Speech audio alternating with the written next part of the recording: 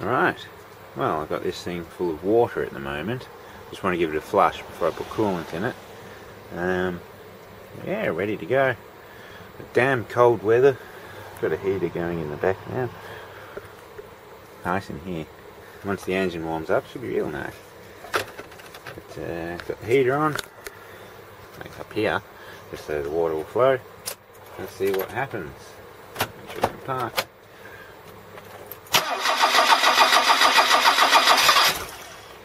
Alright, pump the gas twice, turn the choke on. Cool, a little bit of water went through it.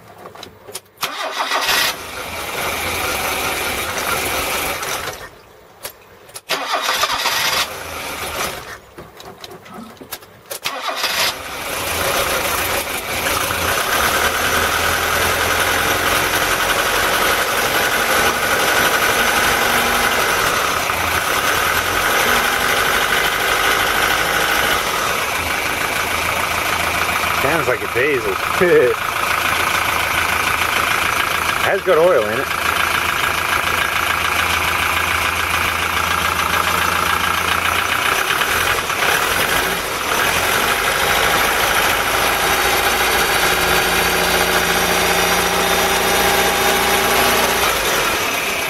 Ah, now it's got oil pressure. Might find out what oil's in this. Maybe uh, change it to something a bit better.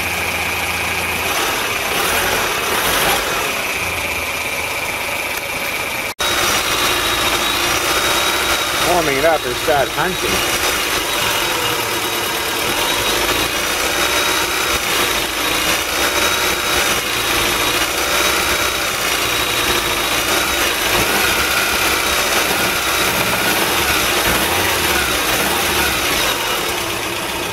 Hmm, carby problem.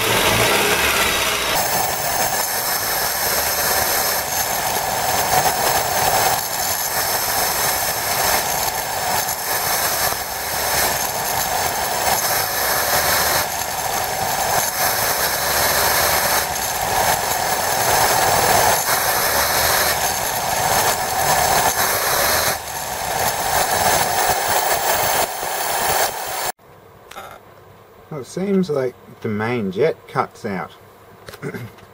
it's primary, it's secondary. And yeah, it runs and then just stops. And at idle, feels coming through it. So, I'll have to work out. This does have some lock-offs on it as well. So, it could be wiring issue, I've come across that before.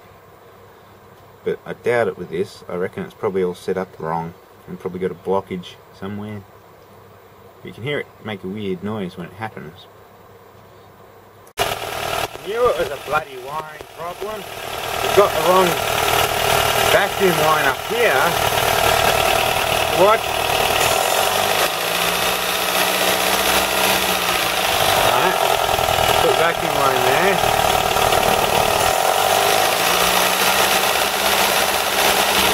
Shuts off the main jet. Puts a vacuum there and stops it from uh, working. I think that one should go here. I have a visitor. And warm in here, isn't it? Well, yeah. Don't know where this vacuum line's supposed to go, but all I know is it went to the wrong spot. Because it puts a full vacuum there when that solenoid light uh, loses power and pulls the fuel out here. That should be a vent of some description. So, probably just all pollution control shit. I'll just make it so it works, but I don't have any reference to know where these hoses should go. So, I'll just make it work and yeah, that'll be that. Yeah, cat's at the back now. But yeah. I'm just making a temporary control board for everything in the van because I've talked to the customer and we've decided we're going to redo everything back there in that wooden box. Do it to my standards. well, that should all work now. Just got to collect, connect the car loom to it and give it power and put that to ground. That should work. As I say, very temporary until we get some more parts in and one of those big fuse blockers I used in the uh, Mercedes. I get two of them and I'm going to run everything in the van, like the fridge and the inverter and all that. nicely. Ah, well this will run those fans and the aircon. Very temporary as I say, but um, at least the van will drive now. Later on we'll, we'll rewire everything and make it all pretty. Maybe even up here, you never know. You know my crazy little projects. Oh, it's cold and wet and miserable today. Well, that box is temporarily done for now until some parts come in. But uh, it all seems to work. Turn on the air conditioning. That's air conditioning fan. Compressor starts, fans work. When the engine comes to temperature, it should come on. I haven't tested that, but I know it'll work because I did it. But um, let's see if the damn thing will run. It's not tuned very well at the moment until I take it out.